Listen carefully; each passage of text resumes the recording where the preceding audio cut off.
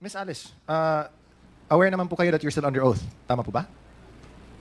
Uh, yes po, Your Honor. And, Eh, sige, please and. Your Honor, um, I cannot uh, disclose too much because I have uh, eight pending cases po at the court din po. Okay. And um, alam mo ba yung mga, na, may mga statements kayo na nasabi nyo dati sa mga previous hearings in both the Quadcom and the Senate na naging na, na, na, natuklasan na kasinungalingan. Tama po ba? Uh, anong pong statement po, Your Honor? Well, the, the nationality, your nationality, your parents, and the like. Tama po ba? Uh, hindi po, Your Honor. Okay. Pero now that we're here and almost closing on this na rin, willing ka ba na magsalita ng katotohanan sa Quadcom na ito?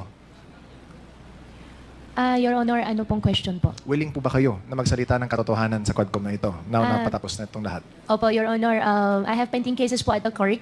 So, um, anything po na sasabihin ko po dito sa Quadcom might uh, use against me. So, Okay. opo. Alright. Pero even if na alam mo na may alam din yung Ministry of State Security, willing ka rin ba na mag-confess ng katotohanan sa Quadcom na ito?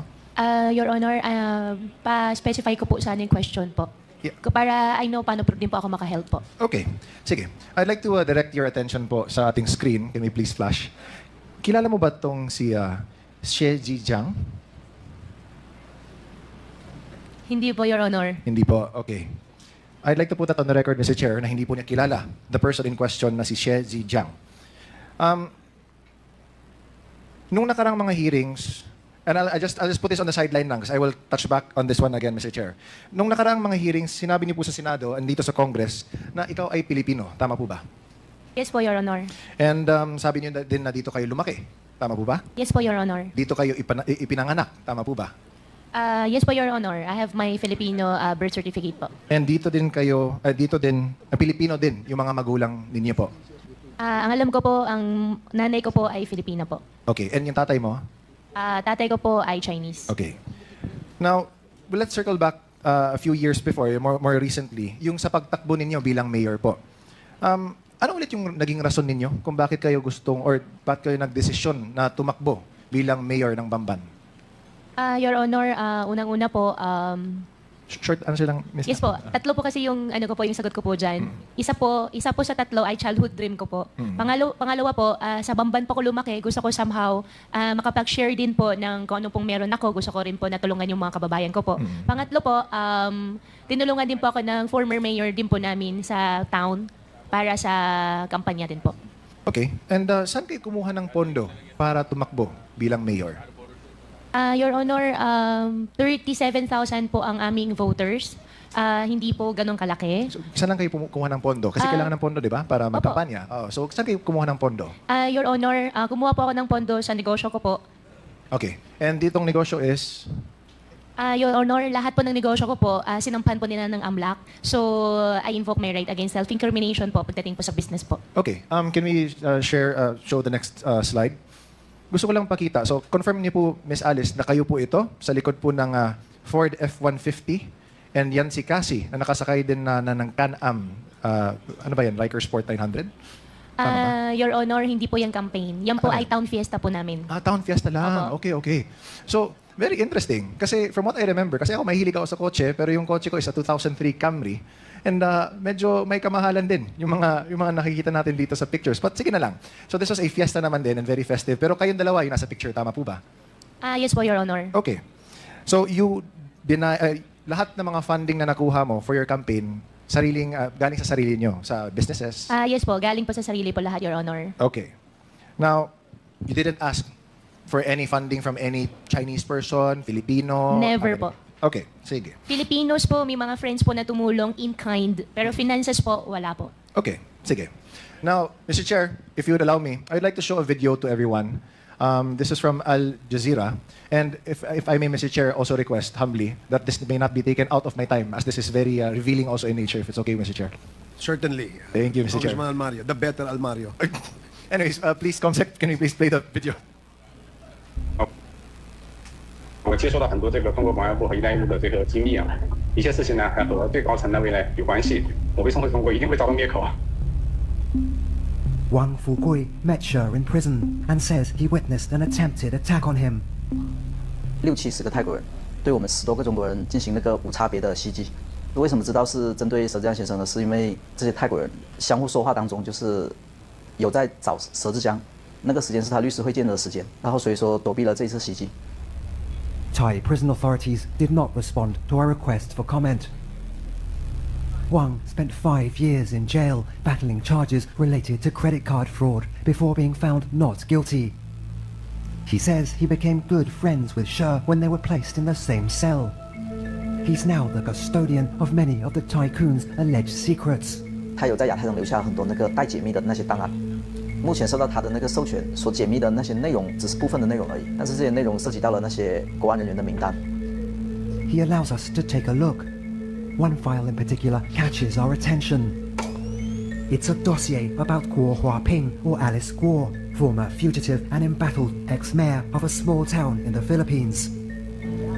Now in police custody, Guo is being investigated for alleged ties to scam operations and money laundering.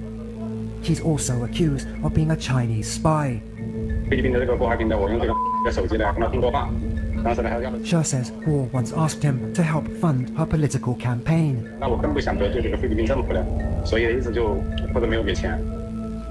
Wu has repeatedly insisted she was born in the Philippines, a prerequisite for office holders in the country. But Sher's dossier lists China as her place of birth. Guo had previously claimed she's the daughter of a Filipino woman. But according to this document, her mother is a Chinese citizen called Lin Wenyi. The dossier also lists a family address in China's Fujian province. This is what our researcher finds when he visits the local office of the Chinese Communist Party. At a nearby village, residents shown photographs of Guo recognize her as the daughter of Lin Wenyi, the same name that appears in Sher's dossier. They say Guo was born here and only moved away towards the end of 2002. Sher says he has a message for the former mayor 郭海平跟我是不可信的，我们两个人你看看，曾经都为这个国安部卖命，你看看我的下场，呃，要想不被灭口呢，就把真相呢也告诉全世界。 China's Ministry of State Security did not respond to our request for comment. Neither did Alice Guo Huaping. So, Mr. Chair, I'd like to point out to this committee that even if we have been making our own researches, uh, pulling up our own inquiries, this is another source from a completely different party and is unrelated to what we do. Pero nagkataon that the person by the, the person named uh, Xie Kailun, who si uh, Zhejiang trusted with the encrypted files, showed to Al Jazeera that there is a dossier confirming that there are Chinese spies all over, at least in this case, Myanmar, but here also in the Philippines, and undoubtedly shows Go Huaping. In the picture, where she was born, even her mother, and the name of Lin Wenyi. Mr. Chair, again, we were told, kanina nagtanong tayo, kung lumaki ba si Ma'am Alice dito sa Pilipinas, kung dito ba siya ipinanganak, kung Pilipino ba yung mga magulang niya. niya. She first said na dito daw siya lumaki, which is false. Because paano malalaman or ma-identify ng mga tao doon mismo sa address sa Fujian na nakilala nila si Alice Go, Go Huaping as anak ni Lin Wenyi nung pinakita nila yung picture ni Go Huaping sa kanila. Number two, tinanong natin kung saan ba siya ipinanganak. Eh nakita na nga. Doon mismo. She was she left daw late of 2002. Sabi pa ng mga tao na in-interview ng Al Jazeera doon mismo sa Fujian. And might I take note, uh, might we take note, Mr. Chair, na sa video, nung pinuntahan nila yung address na, na, na nakalagay sa dossier, sa encrypted dossier, is a local uh, local office ng uh, uh, Communist Party of China. So, Mr. Chair, I think this in itself is, it speaks volumes na, no? Um, again, nakakainis na time and time again, dinideny ni Go Huaping lahat ng mga questions na tinatanong namin sa kanya. Okay. Again, let me ask. Go Huaping, kilala mo ba si Xie Zhejiang? Yes or no? Your Honor, yung si Jijan na sinasabi niyo po, yan po ba yung pinakita niyo po kanina sa akin sa picture? Correct. Hindi ko po siya kilala. At sana po, Your Honor, Mr. Chair, makuha ko rin po yung details. Gusto ko po magdemanda. Hindi ko po sila kilala. Hindi natin madidemanda Miss Alice dahil kasi he's in jail in, in Thailand. And the reason why he's speaking the truth now is because, as he was saying that din in the video, although hindi lang pinakita dito, is that he is also being illegally detained daw, sabi niya. Kaya sa, sa, sa galit niya, he wants to speak also the truth out to the world na iniipit na rin siya ng Chinese Ministry of State and Security. So, what does he have to lose?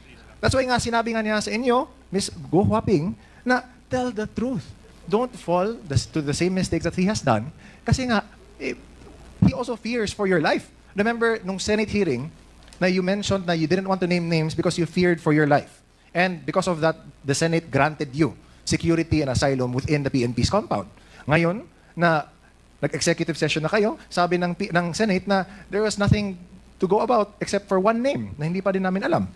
But if we look at it, there is no doubt, kitang-kita na. Hindi na galing mismo dito sa Quadcom, pero in an international company that tries, whose job is to search for the truth worldwide. So, Mr. Chair, I'd like to submit this video na this is confirmation that what we've been trying to unearth here, marami na din dyan na nakikita din that corroborates not from us but from other parties as well. Which also means that this Quadcom should also be the avenue for which other people should also go to us to reveal more of the truth kasi kailangan din natin yung kompletong katotohanan. Which is why this is another this is an open call to action Mr. Chair. Sa lahat ng mga nanonood ng Quad Committee meetings natin, na kung may alam kayo, lalo na nakakatulong ito sa pagtingin, sa pagkuha ng katotohanan, please come forward kasi this is national security also at stake. She's been denying na may kilala siya na ultimo, sinasabi niya na ilang beses na siya, siya tinawagan para humingi ng campaign funds kung hindi niya alam yun, or if he was saying, kung hindi niya, if it wasn't even in the same timeline, then he wouldn't have said that. Di ba? Timing. Elections natin, doon din siya, tumakbo din siya, humingi siya ng tulong. It all adds up. It all lines up. So, Mr. Chair, I'd like to submit this video uh, to the committee, and I hope na people really try this time na mas marami pa na will come forward to speak truth to this matter. Thank you, Mr. Chair. Thank you, Congressman Almario.